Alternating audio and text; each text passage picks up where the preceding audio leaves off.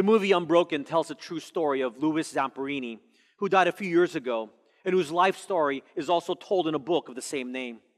Zamperini was an Olympic runner from California who was called into serving on a bomber crew in the Pacific in World War II.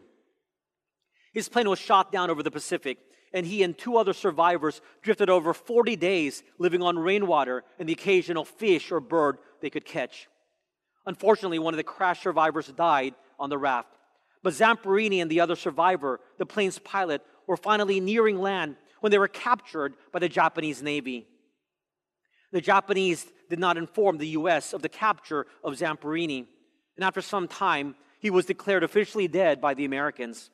But his family in California refused to give up hope that he might return alive. Zamperini was sent to a series of prisoner camps, eventually arriving at a camp in Tokyo where he received particularly brutal treatment from a guard the man called the Bird. When the Japanese surrendered, Zamperini was sent back to the US, and this is where the movie ends. What the movie doesn't show is the rest of Zamperini's life. After he got home, Zamperini had constant nightmares. He was disturbed by flashbacks to his days as a prisoner and had terrible dreams of being beaten by the bird and dreaming about wanting to strangle his former captors. And so he began to drink heavily, trying to forget his experience as a prisoner of war. His personal life fell apart, and his wife wanted to divorce him. In 1949, at the encouragement of his wife and her Christian friends, Zamperini reluctantly agreed to attend the Billy Graham crusade. Reminded by Graham's preaching of his prayers during his time on the life raft and imprisonment, Zamperini recommitted his life to Christ. Following this, he forgave his captors, and his nightmares began to cease. He even found it possible to forgive the bird for his brutality. Billy Graham helped Zamperini launch a new career as a Christian speaker. And one of the recurring themes in his talks was forgiveness. And he visited many of the guards from his POW days to let them know that he had forgiven them. This included an October 1950 visit to Sugamo prison in Tokyo, where many war criminals were imprisoned, in which Zamperini embraced those who stepped forward to acknowledge that they recognized him and express forgiveness to them. Zamperini was told that some of them became Christians in response to his forgiveness. My friends, while your life story may not be as dramatic as this, there will come a time in your life when you will come to a crossroad, and in that spiritual moment or existential crisis, you have to make a decision. How should I be living my life? You may realize that the life you are living and have lived isn't purposeful, it isn't satisfying, it makes you feel very guilty, and you and I need to change. It is what we call a spiritual awakening. And as we continue our study in the first 11 chapters of the book of Genesis in our sermon series titled When Giants Walk the Earth, we want to take a look at four spiritual principles, four truths that should spiritually wake us up and wake up this generation to live changed lives for the Lord. If you have your Bibles, would you please turn with me to the book of Genesis, chapter 5, as we go from chapter 5, verse 1 to chapter 6, verse 8. Genesis chapter 5, verse 1 to chapter 6, verse 8. I read now verses 1 to 20 of Genesis chapter 5. This is the book of the genealogy of Adam. In the day that God created man, he made him in the likeness of God. He created them male and female and blessed them and called them mankind in the day they were created. And Adam lived 130 years and begot a son in his own likeness after his image and named him Seth. After he begot Seth, the days of Adam were 800 years and he had sons and daughters. So all the days that Adam lived were 930 years, and he died. Seth lived 105 years and begot Enosh. After he begot Enosh, Seth lived 807 years, and he had sons and daughters. So all the days of Seth were 912 years, and he died. Enosh lived 90 years and begot Cainan. After he begot Cainan, Enosh lived 815 years and had sons and daughters. So all the days of Enosh were 905 years, and he died. Cainan lived 70 years and begot Mahalalel. After he begot Mahalalel, Cainan lived 840 years and had sons and daughters. So the days of Cainan were 910 years, and he died. Mahalalel lived 65 years and begot Jared. After he begot Jared, Mahalalel lived 830 years and had sons and daughters. So all the days of Mahalalel were 895 years, and he died. Jared lived 162 years and begot Enoch. After he begot Enoch, Jared lived 800 years and had sons and daughters. So all the days of Jared were 962 years, and he died. Now, why did I just take time to read through these verses that we often tend to skip over? And if we do read these verses, our focus is on how long everyone lived and nothing else. Because it's very difficult for us to imagine that someone lived almost a thousand years back then when it's already unimaginable to live to 100 years old today. For example, someone who's 100 years old today would have been alive during the Great Depression or when radios was considered new technology and not readily available in homes. While somebody who is 1,000 years old today would have been alive when the Byzantine Empire was still in existence or when the Song dynasty ruled China. Now, we may wonder why the Bible would record in detail the ages of these individuals, including the age of when they had certain children.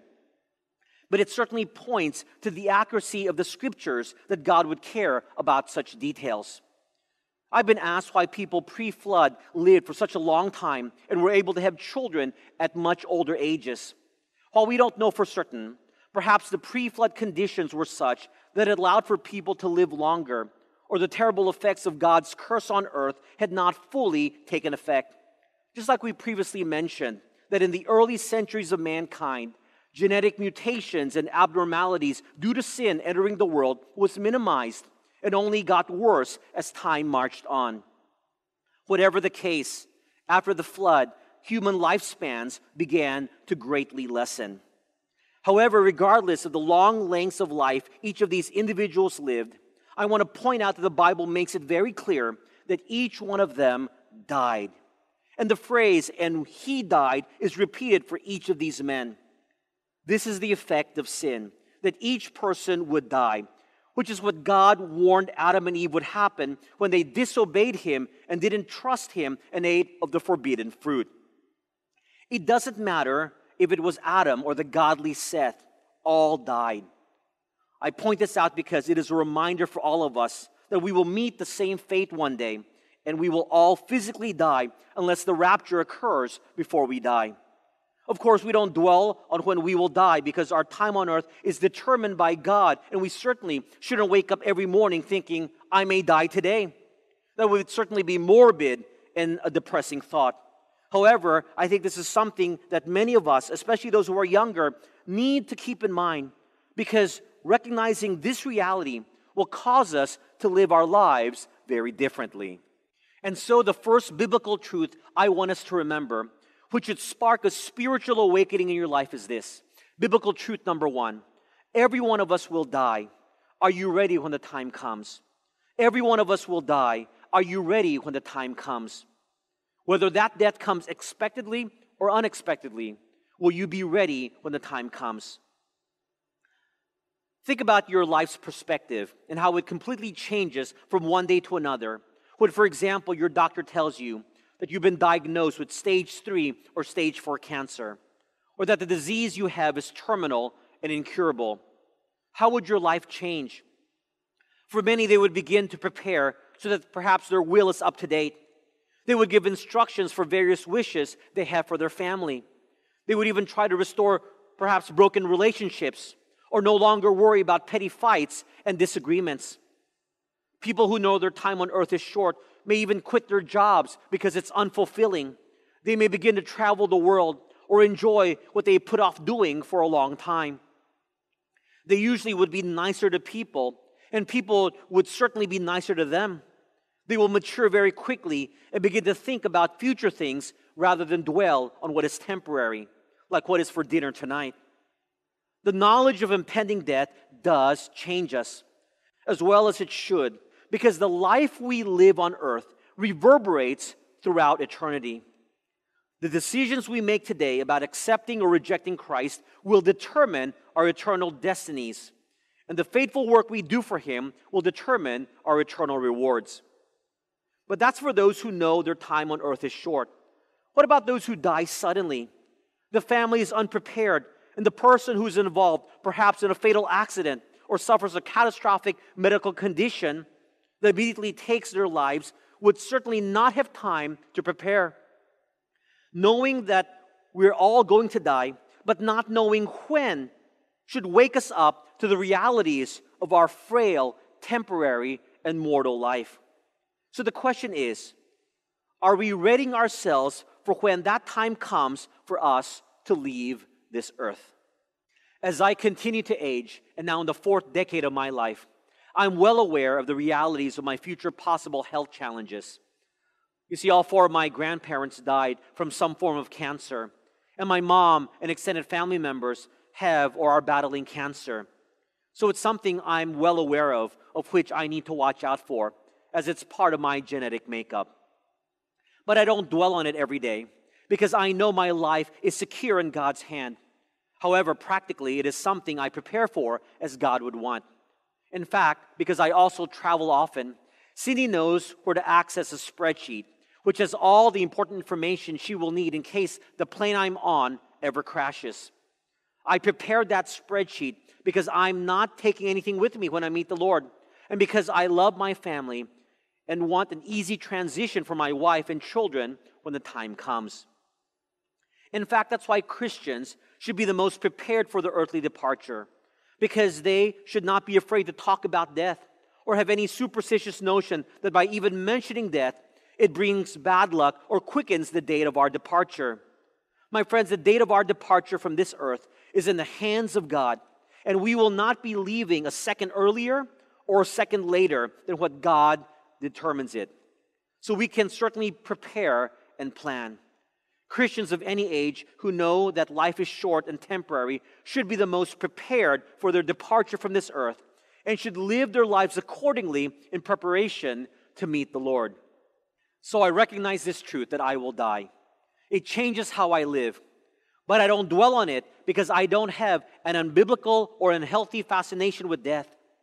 But this truth should serve as a wake up call for all, especially those who are younger, thinking they have years and decades ahead of them before they should begin to think about the serious things of life.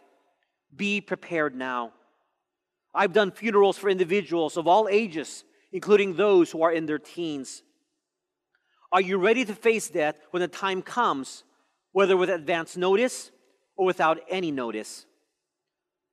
My friends, I pray you've already placed your trust in Jesus Christ as your personal Savior, because if not, you should not be able to sleep every night worried you will spend eternity in hell, a place deserved for all who have committed even one sin and do not have that sin forgiven through the shed blood of Jesus Christ.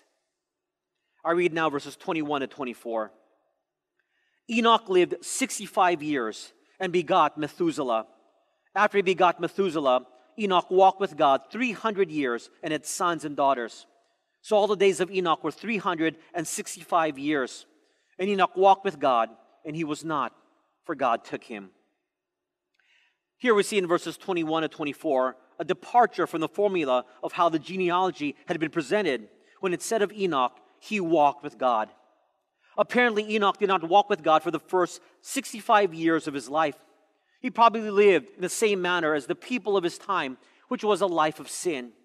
But there was a life changing event in his life that sparked a spiritual awakening for him and it was the birth of his first child, Methuselah, and Enoch became a father. Apparently, the birth of his first son struck within Enoch a deep, intense sense of responsibility for that child.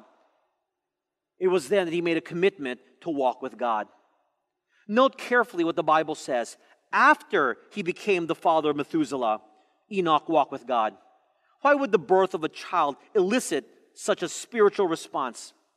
Well, as any father or parent knows or should know, there is an enormous responsibility being a parent and raising a child.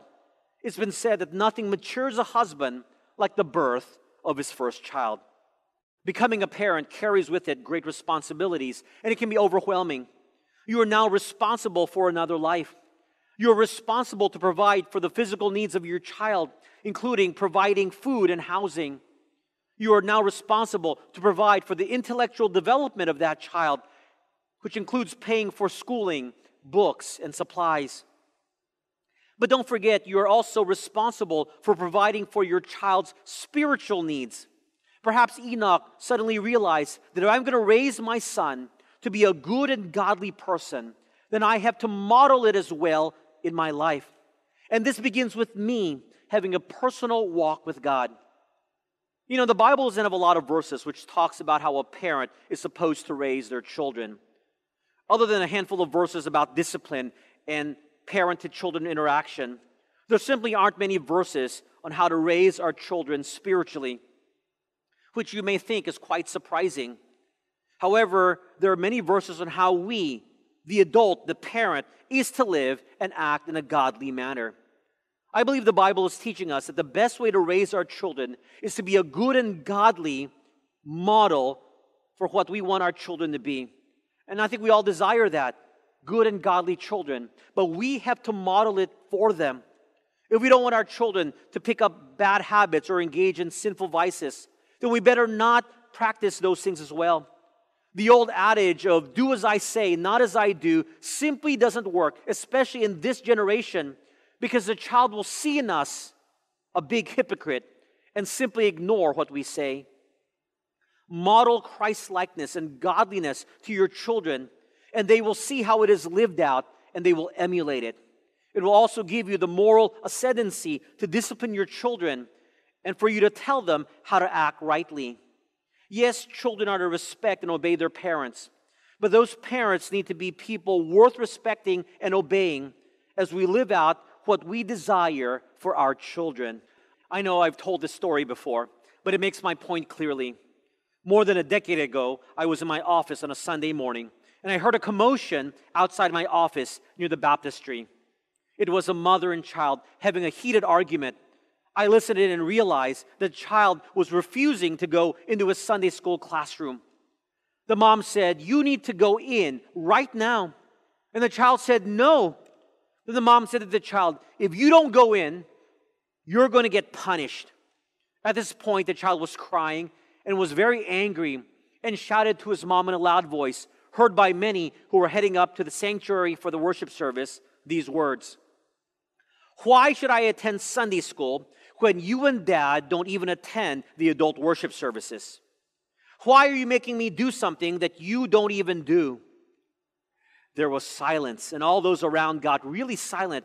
I think they were trying to pretend not to be listening in, but you know they were intently waiting for the mom's reply. But the mom had no reply and simply said, Okay, let's go home. The parent had lost. She didn't have the moral authority to tell her child to do something she and her husband were not even doing themselves. May this be a reminder to all of us. Look back at verse 22. The Bible tells us Enoch was so dedicated and committed in his walk with the Lord that it lasted for more than 300 years without wavering. This is a type of walk with God that wasn't all talk, but lived out in action, a genuine commitment to live his life for the Lord. In fact, he walked so closely with God that God simply took him home to heaven without Enoch dying physically. We see this special blessing for Enoch mentioned in Hebrews chapter 11, verse 5. Hebrews chapter 11, verse 5. By faith, Enoch was taken from this life so that he did not experience death. He could not be found because God had taken him away. For before he was taken, he was commended as one who pleased God. The Bible tells us Enoch simply disappeared from the earth because God took him to glory. I love the last phrase of this verse where it said that God was pleased with him. That means more than being committed to walking with the Lord, Enoch did everything he could to please God with his life. You see, my friends, there's a difference between walking with God and pleasing God. Many people claim to walk with God. They walk with Him for five minutes of their lives, and they would say they walked with God. They come and go to God as it fits their liking, and when they assess their lives, they would say generally they walked with God. But to live a life whose desire it is to please God is a higher level of commitment. Everything about your life is doing things that pleases the Lord. You no longer serve as you please, but you serve and live this life at His pleasure. Can it be said of your life when assessed, he or she was one who pleased God, because this is what was said of Enoch. As a reward for this type of life, Enoch was one of only two people in the Bible who never died physically, the other being Elijah. God simply took them straight to heaven. And Enoch is commended once more in the Bible in the book of Jude, chapter 1, verse 14. Jude 1 14. Enoch, the seventh from Adam, prophesied about these men. See, the Lord is coming with thousands upon thousands of his holy ones to judge everyone and to convict all of them of all the ungodly acts they have committed in their ungodliness and of all the defiant words ungodly sinners have spoken against him. It's only natural that when one walks with God and lives a life of desiring to please God, that he will want to share with others about his walk with God and what God says in his word about how one should live. And so Enoch spoke truth to the sinful people of his generation. The message that Enoch shared certainly would not be a popular message, which probably didn't make him very popular. But then again, when you are living your life for God's pleasure, you don't care what others really think about you. Your life is not about getting people to like you. While unpopular, it was a message that his world needed to hear. And here is what is important to know Enoch can speak the truth of God's judgment on their ungodliness without sounding like a hypocrite. Because, as the writer of Hebrews tells us, everyone in his time knew he was one who walked the talk. Enoch walked the talk so he could talk. He walked the talk so he could talk. Do you walk the talk so you can talk? Enoch pleased God with his life, so he had the spiritual authority and moral ascendancy to talk and warn of God's impending judgment to the people of his generation. When you tell others about repenting, do you live a repentant life? When you talk about forgiving others, do you live a life of forgiveness? When you talk about love, do you live a life of love? When you talk about grace, do you live a life of grace? The life of Enoch points us to another biblical truth. Biblical truth number two which has sparked a spiritual awakening in your life, and it is this your walk with God and how you desire to live for Him are what is most important. Your walk with God and how you desire to live for Him are what is most important. My friends, an intimate walk with God and your desire to live for Him will change your approach to this life. It will lead to a spiritual awakening of what is important in your life and what is unimportant. And what is unimportant are the temporary allures of this world. A walk with God leads to life, as we clearly see in the life of Enoch. A walk with the world leads to death. Now, look with me at verses 25 to 32 of Genesis chapter 5. Methuselah lived 187 years and he begot Lamech. After he begot Lamech, Methuselah lived 782 years and had sons and daughters. So all the days of Methuselah were 969 years, and he died. Lamech lived 182 years and had a son. And he called his name Noah, saying, This one will comfort us concerning our work and the toil of our hands, because of the ground which the Lord has cursed. After he begot Noah, Lamech lived 595 years and had sons and daughters.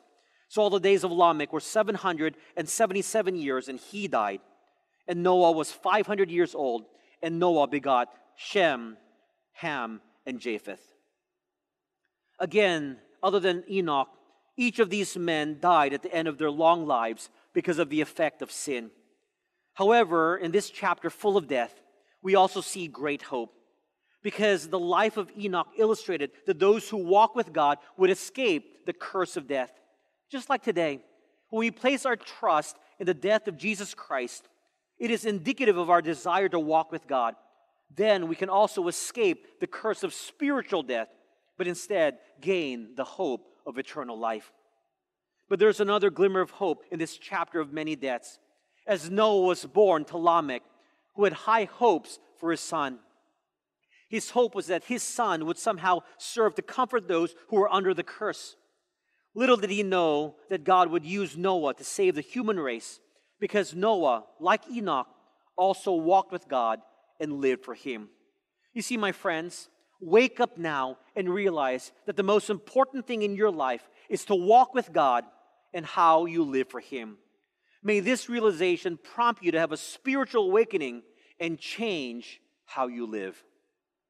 I read now verses 1 to 3 of Genesis chapter 6. Now it came to pass when men began to multiply on the face of the earth, and daughters were born to them, that the sons of God saw the daughters of men, that they were beautiful, and they took wives for themselves of all whom they chose. And the Lord said, My spirit shall not strive with man forever, for he is indeed flesh, yet his days shall be 120 years.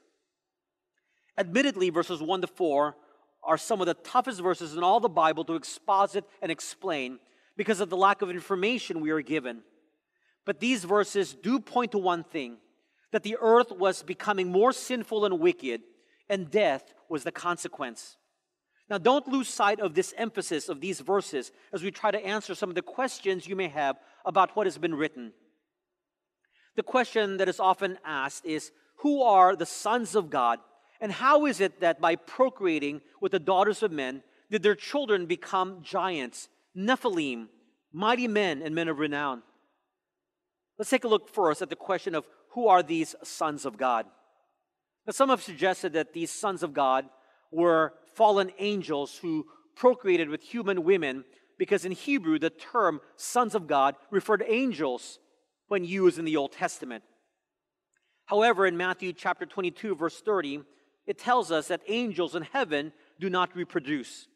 Perhaps this is an exceptional case that God allowed, or Matthew 22 30 isn't referring to demons, only to angels. Because in 2 Peter chapter 2, verses 4 to 5, it talks about a very grave sin that certain fallen angels committed that caused them to be confined in the bottomless pit, unable to freely roam the earth as other demons do. Also, Jude 6 and 7 point to certain fallen angels who, quote unquote, did not keep their proper domain, but left their own abode. And they are also held in the abyss. Some have suggested that the demons did this because they wanted to pollute the human bloodline in order to prevent the coming of the Messiah. However, this is just conjecture because the Bible simply doesn't speak of this. The view that the sons of God are fallen angels assumes that all three books Genesis, 2 Peter, and Jude refer to the same event. Now, others have suggested that the sons of God were from the godly line of Seth, who married ungodly women from the line of Cain, as the Old Testament sometimes refers to the godly as God's son. However, this would be an exceptional, unique use of the technical Hebrew phrase which refers to angels. I've wavered in my personal position regarding how to identify these sons of God. And frankly, it really doesn't matter and doesn't affect any of the theological positions we hold to. I've come to the conclusion that we simply won't know for sure who the sons of God are who marry these daughters of men because God didn't reveal it to us. His emphasis was on the increasing wickedness of mankind during this time. But we can say for certain that these fallen angels or wicked men, perhaps demonically influenced or possessed, married these beautiful women because they lusted after them, as verse 2 tells us. They saw that these women were outwardly very beautiful. The sinful fallen world had become very fleshly, focusing only on the outward beauty, rejecting anything as it related to godly character and inner beauty. And because of this increasing wickedness, God's judgment would come upon man in 120 years with a great flood. The 120 years referenced in verse 3 doesn't mean that man would only live to 120 years old, as we see that even after the flood, people live longer than 120 years, although the human lifespan began to get shorter and shorter. God's judgment would come upon the wicked world. Look at verse 4. There were giants on the earth in those days, and also afterward, when the sons of God came in to the daughters of men and they bore children to them. Those were the mighty men who were of old, men of renown. In verse 4, we're told that the union of these sons of God and daughters of men produced the Nephilim, literally translated fallen ones or giants. And they're also referred to as mighty men and men of renown. Some have suggested that the sons of God had to be demonic because only the mixture of angelic DNA mixed with human DNA could produce these giants. However, that's simply fanciful thinking. There are many average sized couples who give birth to very tall people, more than seven or eight foot tall. In fact, the term giants is a non technical term. Individuals who are substantially taller than me would be considered a giant in my books. If I visited an NBA locker room today, I would think I was standing amongst giants. So, giants are simply those who were taller than the average height of those living at that time.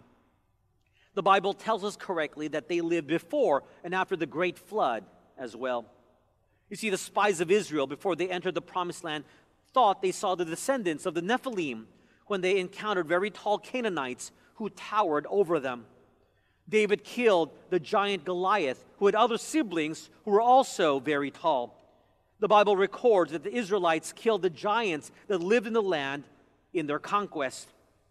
And in the modern day, we have sports stars like the wrestler Andre the Giant, who is over seven foot tall and more than 500 pounds, or NBA stars like Shaquille O'Neal or Yao Ming, well over seven foot tall all who could be considered giants. So, giants or really tall people have been around for a very long time and really shouldn't be shocking to us. However, at that time, the Nephilim were awe inspiring as they were very tall humans who towered over many and were able to do great things, and thus were very famous, men of renown. They were ancient celebrities and they were probably admired for their towering presence and their ability to do many things ordinary people were unable to do. But sadly, most all of their acts were evil and did not honor the Lord. Because what impressed mankind did not impress the Lord. Let me repeat that. What impresses man does not impress the Lord. Look at verses 5 and 6 at the commentary for how God viewed the people of that generation even if they were famous and popular. I read now verses 5 and 6. Then the Lord saw that the wickedness of man was great in the earth, and that every intent of the thoughts of his heart was only evil continually. And the Lord was sorry that he had made man on the earth, and he was grieved in his heart. Instead of being impressed by man, Nephilim or not, God was grieved and greatly saddened by the sinfulness of man mankind lived in wickedness. They lived in the flesh, and they didn't desire any relationship with the living God who created them. In fact, we see that in their hearts. The people's motive and purpose was only to do evil. Matthew 24 38, in describing the people of that generation, tells us that all they did was party and live out human debauchery and depravity. And the Lord was very sad that the very people he created cared nothing for him cared not to be in relationship with him, and it absolutely broke his heart. My friends, I want you to understand this third truth, biblical truth number three, which would spark a spiritual awakening in your life, and it is this sin and wickedness grieves the heart of God and hurts him deeply. Sin and wickedness grieves the heart of God and hurts him deeply. I think many of us have forgotten the pain we bring to God's heart when we sin and that's why we continue to do it. But if we knew that God's heart is broken when we engage in any type of sin and wickedness, then maybe we would consider living in holiness as opposed to wickedness and sin. Just imagine if you have the audacity and the cold stone heart to go up to your mother, the one who bore you and raised you, and told her to her face, I hate you. I do not care about you. I want nothing to do with you. You mean nothing to me. You haven't done anything good for me. And everything you tell me to do, I'm just going to do the opposite. Would there be any child so heartless as to do that to his or her mother? If I heard a child telling his mother that, I would be so upset and angry because I could never do that to my own mother. But for sure, that mother's heart would be devastated and broken. If we saw a child say that to his mother, we would want to comfort that mom because she would be in so much pain. But that's exactly what we do to our Heavenly Father when we sin and live in wickedness. We are telling God, You mean nothing to me. I don't care about you. I'm going to do the opposite of what you have told me to do. And God's heart is broken. The sins of his children grieve him deeply. My friends, if you don't want to break the heart of God, who has given us so much love, care, grace, and mercy, then live a life of holiness. This truth should be a spiritual awakening for how we are to live and act. When we know sin grieves the heart of God, we should hate sin even more because we love God so much. When we know sin grieves the heart of God, we should hate sin even more because we love God so much. Is that how you live your life? Amy Imbo shared in her blog this experience. Have you ever had to deal with deep sin with one of your kids? I'm not talking about the kind of sin like stealing a cookie from the cookie jar. I'm talking about sin that must be dealt with immediately, or else it will hold them in serious bondage for a long time. A trap that drags a person down deeper once caught. One of my kids stumbled into a specific sin by accident. Upon my discovery of the sin, this child began forming a web of lies in order to try and hide the sin. I wanted so much to believe my child, but I knew something about the entire situation was not quite right. After more prompting and asking, my child finally confessed. The realization of the depth of this sin shattered my heart. All I could do was crawl up my stairs to my bedroom, where I crumpled onto the floor weeping. All I could cry out was, Oh God, Please help. That's it. I could not form any other words. What now? I don't know how long I was on the floor sobbing, but finally my husband came upstairs to talk with me about what we would do. I was still in a state of unbelief and shock. How could this happen to my child in our family? I thought I'd prepared them well enough. My husband and I talked about our plan of action. What now? there had to be some form of discipline for the original sin and for the lies.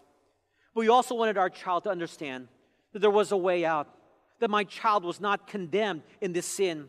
There was redemption and restoration through Jesus Christ.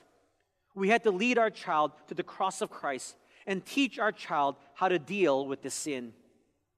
My husband shared with our child his own struggle with similar sin in his past and what he did to overcome the sin we wanted our child to know that they weren't the first person to ever fall prey to this sin. I did not want a cloak of guilt and shame placed on my child's shoulders. I did not want to come off as the perfect person who was without sin. I wanted my child to understand that we all struggle with sin, all of us, including mommy and daddy. Through this circumstance, a new hatred for sin developed in my heart I had a deeper understanding of what God may feel like when He watches His children fall into sin, how it must break His heart, how it must grieve Him, especially when we try to hide it from Him. The brokenness I felt that day was just an inkling of what He must feel when I sin. I gained a new perspective on sin, and I wanted even more to live a life that glorified God. I wanted to be sure to turn from sin every single time I can't say I've always been successful with this. I'm still human after all. But the new perspective has helped me to turn away more often than ever before. If you know, my friends, that sin breaks the heart of God, will you hate sin even more because you love God so much and desire to live for Him? If you know that sin breaks the heart of God, will you and I hate sin even more because you and I love God so much. That would certainly be a spiritual awakening in our lives. Look with me now at verses 7 and 8. So the Lord said, I will destroy man, whom I've created from the face of the earth, both man and beast, creeping thing and birds of the air, for I am sorry that I have made them. But Noah found grace in the eyes of the Lord. Because the holy God is grieved by man's sin, he would take action and his action is to enact his just punishment by wiping man and beast from the face of the earth. Now, if you think that God is unfair in doing this, remember that God has been waiting patiently for many generations for man to shape up and live in righteousness. Mankind deserve this punishment. They have done nothing to deserve God's continued blessings, and he would take those blessings away. Those who have walked with him, like Enoch, God had blessed. And then we have that conjunction but in verse 8. But Noah found grace in the eyes of the Lord. God would withhold his rightful punishment of mankind and completely destroy them because of a single man named Noah who found grace, undeserved favor in God's eyes. And as we will see in subsequent weeks, because of God's grace, mankind will continue to exist because of Noah, again, specifically because of God's grace. This is the first time the word grace is found in the Bible, even though it has been seen in God's previous actions. And here we can draw out our fourth biblical truth that should spark a spiritual awakening in your life. Biblical truth number four God's grace is the only hope for mankind. God's grace is the only hope for mankind. And it was because of God's grace that He would send His one and only Son, Jesus Christ, to die for you and me, to provide a way of salvation to people who deserved eternal death, but instead received eternal life. It is because of God's grace that we are blessed when we deserve so much worse because of our sinful actions. Grace is the only hope for mankind because if we got what we really deserved, life would be terrible and horrible for us. So, my friends, wake up and realize you and I are not entitled to anything.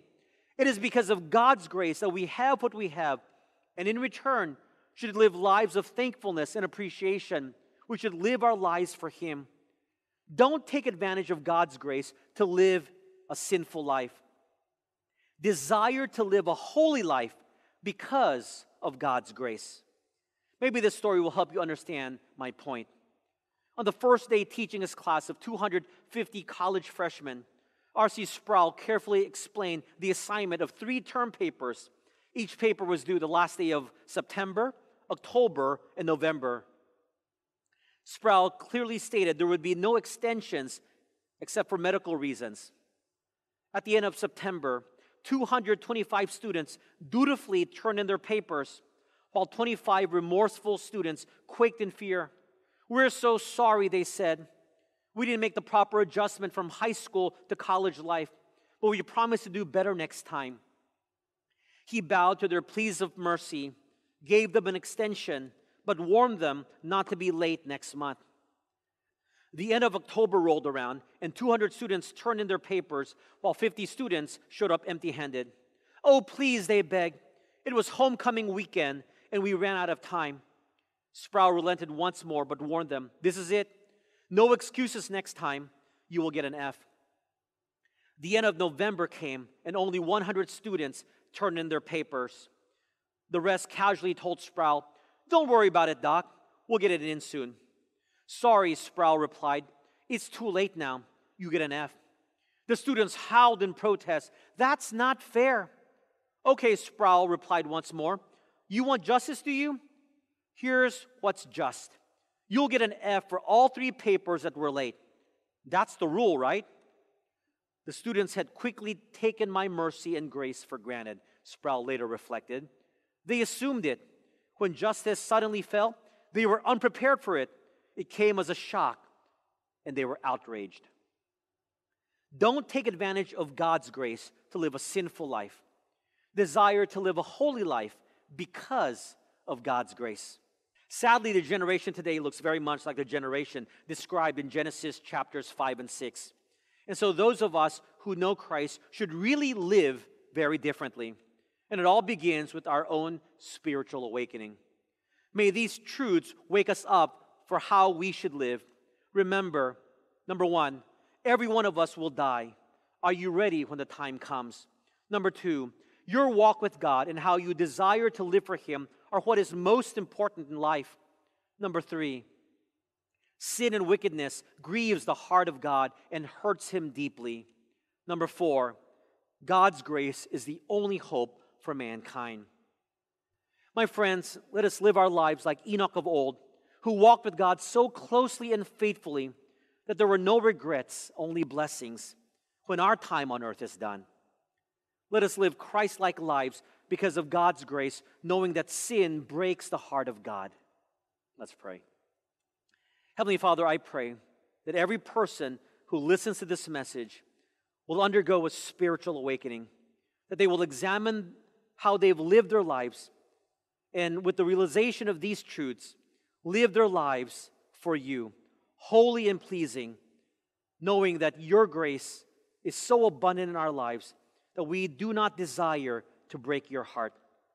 Father, I pray that every one of us will understand that our walk with you and how we desire to live for you should be the most important thing in our life, so that when our time on earth is done, we will be ready to meet our Savior and Lord.